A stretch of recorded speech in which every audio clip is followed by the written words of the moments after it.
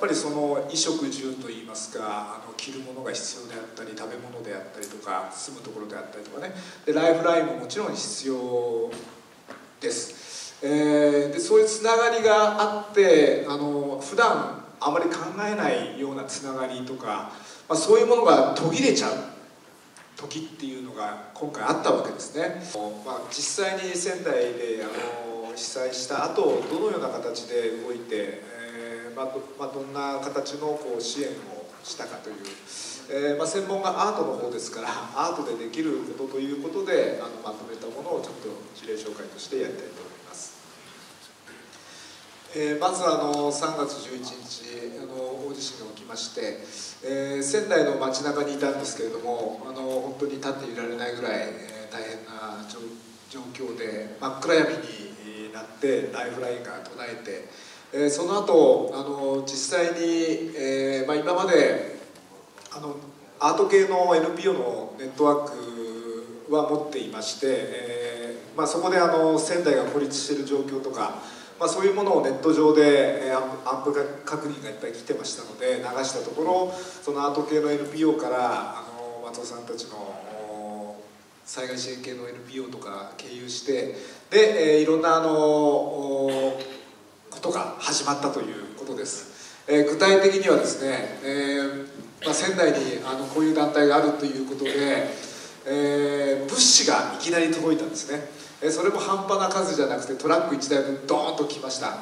でこちらはそういう活動を全然したことがありませんでしたので、えー、まあ、今まであの仙台で知っているあの、まあ、福祉系の NPO であったり困窮者支援の NPO であったり近くに事務所がありましたから、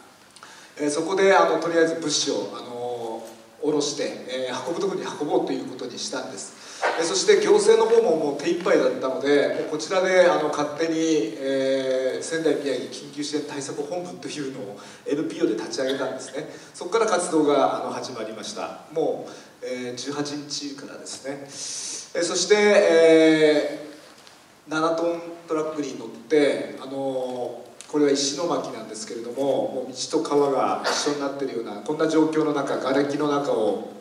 えパンク覚悟であの物資を運びに行きました。で道路は寸断されていてあの石森漫画館なんかはたどり着けなかったんですけれどもえ近くの学校にえ物資を運びました。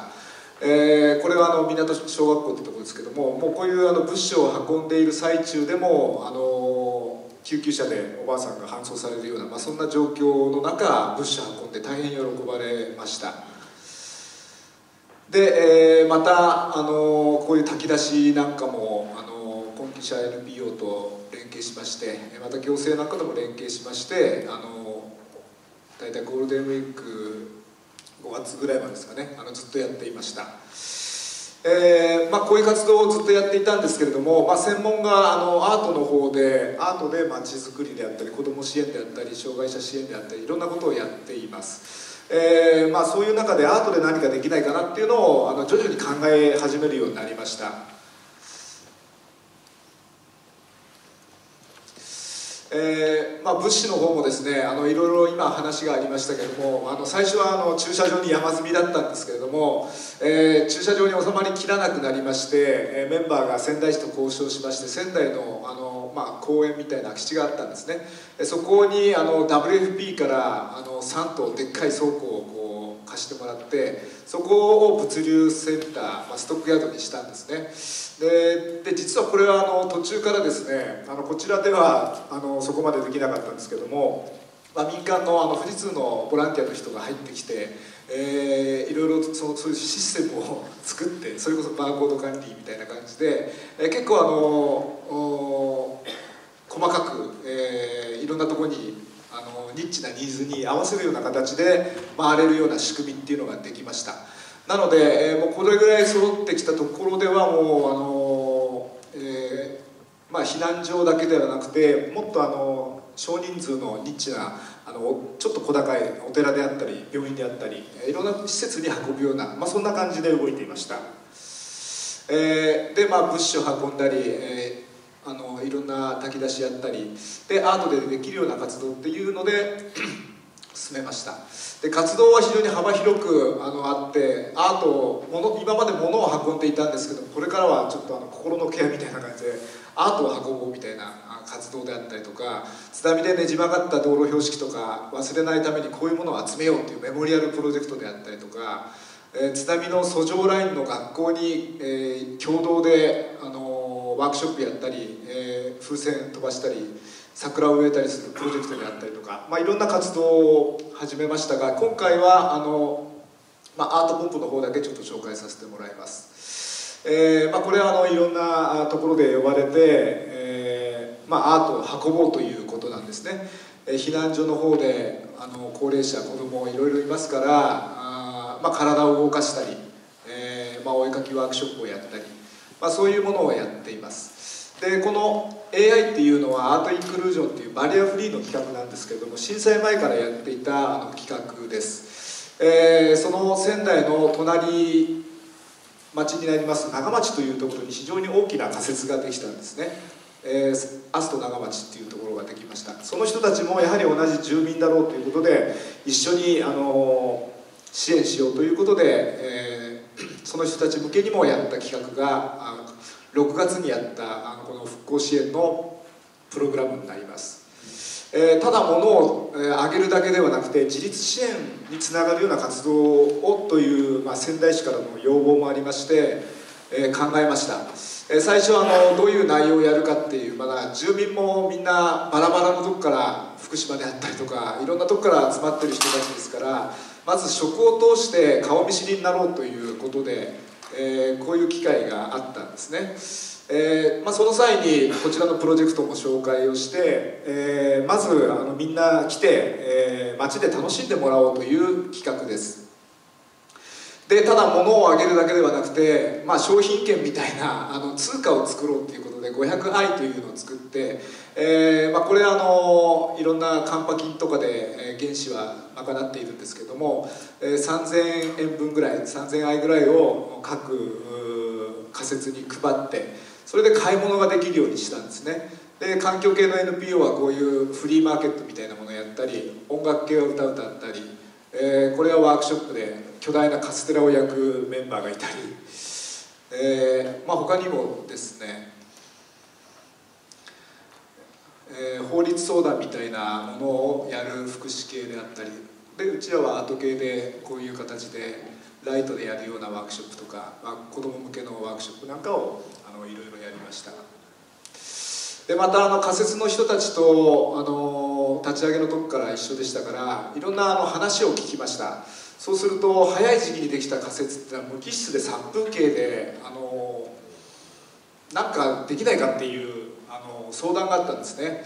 なのでじゃあ何か貼りますか？みたいな感じでちょっと明るくしますかっていうことで言ってたんですけれどもいや直接絵を描いてもいいよっていうことになりまして直接壁に絵を描くあのラッピング計画っていうのが始まりました。これが描いているところです。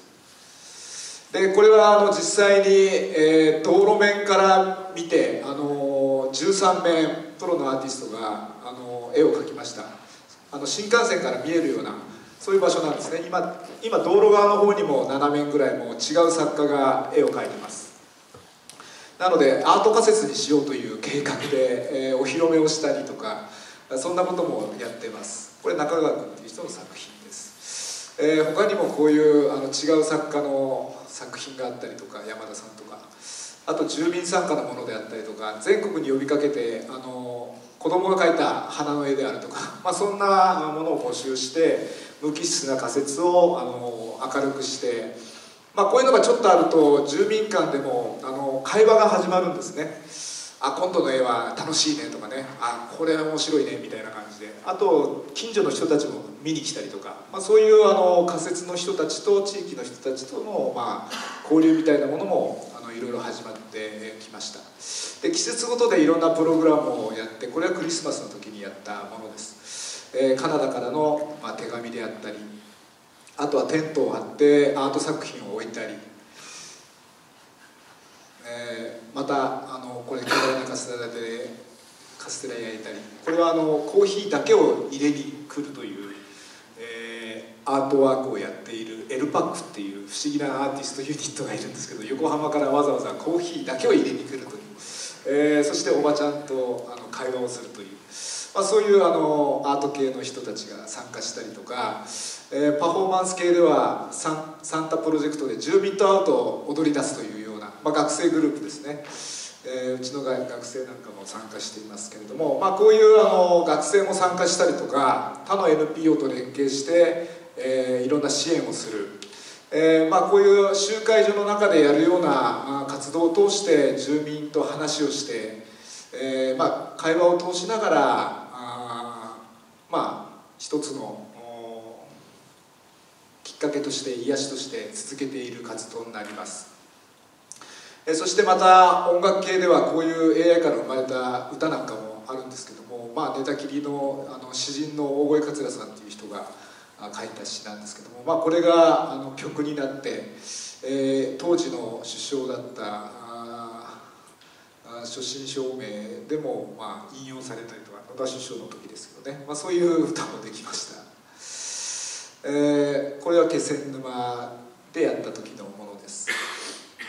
いろんなところでお呼ばれするとあの女川であったりとか気仙沼であったりとかいろんなところでもやってます。でこれはアーティストの開発義明っていうのがやっているア,、まあ、アートのデリバリーなんですけどあのデリリアートサーカスっていうものなんですね。で、えーとまあ、アートでやる支援っていうと絵描いたりっていうのがよくあるんですけどもただ単に絵描けばいいかっていうと逆効果だっていうのもあるんですね。辛かった津波のことを思い出したりとか PTSD で、えー、トラウマになったりとかというのもあるので単純に楽しめるようなあのゲーム感覚のものとか、えー、これ空気で膨らむ巨大なあのソフト彫刻なんですけどゴリラも前へ歩くと動くんですね。で子どもたちに大受けです、まあ、こういう単純に楽しめるようなものをこう被災地の学校に運ぶというような、まあ、こんなあの支援。仮設にもあの持っていきました。いろんな人の中にアートを持ち込んで、まあ、楽しんでもらう。ひとときの,、まあ、あの憩いのひとときにしてもらうということです。時々いろんな人が来てワークショップやったり歌歌ったり、あのまあ、今度はひな祭りが近いですからひなひな祭りのあの段飾りをみんなで作るみたいなね、まあ、そういう緩い企画なんですけどもお正月あたりは餅つきやったり、えー、お雑煮を食べたり仙台の独自のお雑煮っていうのもありますね、えそんなのをやったりしてます。で知り合いのパルコ木下っていうのが仙台四郎の格好をしてあの来たりですね。仙台では有名なキャラクターなんですけどもそんなのがあの登場したりします。えー、実際にはねこんな感じでおばちゃんたちがあのお雑煮の作り方を教えてくれたりずんだ餅作ったり。やっぱりその衣食住といいますかあの着るものが必要であったり食べ物であったりとか住むところであったりとかね。でライフラインももちろん必要です、えー、でそういうつながりがあってあの普段あまり考えないようなつながりとか、まあ、そういうものが途切れちゃう。時っていうのが今回あったわけですね、えー、その時の不安孤立、まあ、いろんなものがあのあってやっぱこういう普段からあのやっぱり、えー、気づいてないけども大事なものがあるんだなっていうのは感じました。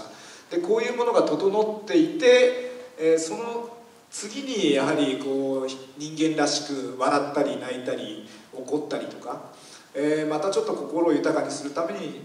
なんかあのアートがあったりとか